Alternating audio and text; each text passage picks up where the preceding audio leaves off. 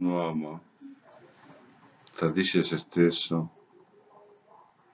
quando tradisce il suo cuore.